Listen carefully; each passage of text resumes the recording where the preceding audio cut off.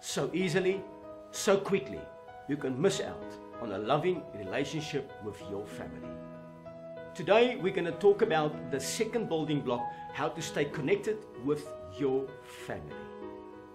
The most important ingredient for a dynamic home and family is unity.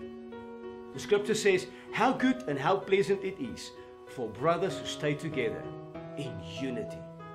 I want you to spend time in unity with your wife, your husband, your children, because when there's unity, there is connection.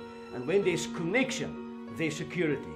The Bible says in the book of Ephesians 5:25, it says, "Husbands, love your wives, even as Christ also loved the church." The minute there's love between a husband and a wife, and your children can see there's a connection, you will bring stability, you will bring vision, and you will bring a connection in your family. After all, it's your family, and it's your responsibility to operate in unity and to stay connected, to stay protected.